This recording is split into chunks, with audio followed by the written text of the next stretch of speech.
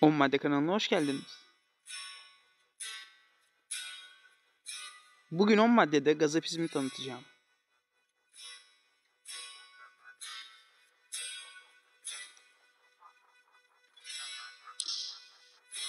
...20 Temmuz 1988'de doğmuştur.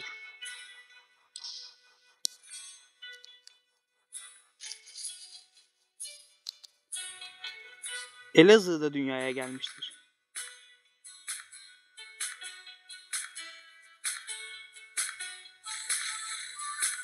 Asıl adı Anıl Acar'dır.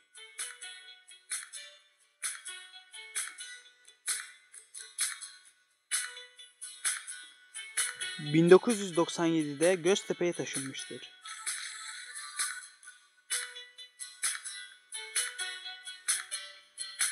İlk rap kaydını 2003'te almıştır.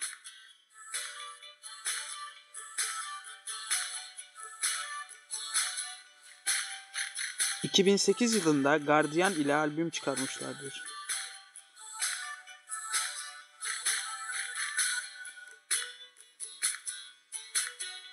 İlk yasal çalışmasını Fuat adlı parçasıyla 2009'da çıkarmıştır.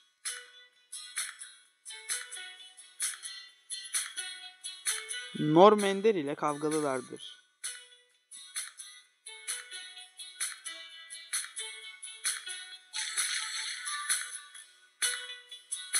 İzmir'in ilk stüdyosu olan Argo İzmir'i kurmuştur.